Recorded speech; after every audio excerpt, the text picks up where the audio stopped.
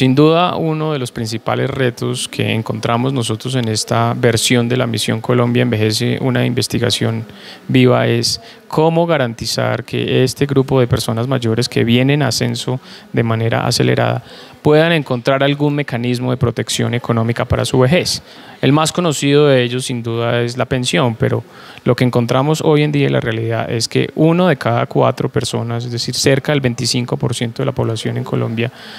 solamente tiene acceso a pensión. ¿Qué pasa con ese otro 75%?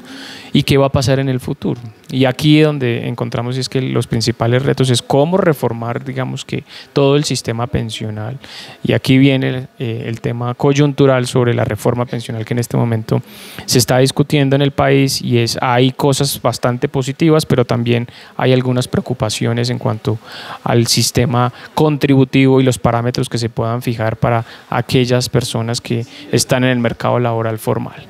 Entonces, el reto es, sin duda hay que modificar el sistema pensional, pero por otro lado, hay que tener otro tipo de alternativas para aquellas personas que por X o Y motivo no van a lograr una pensión y aquí es donde hay que hacer uso de la innovación financiera, de crear nuevos mecanismos para que las personas puedan ahorrar y puedan garantizar en esta etapa de la vida un ingreso que les permita satisfacer sus necesidades y crear productos de acuerdo a las características de cada persona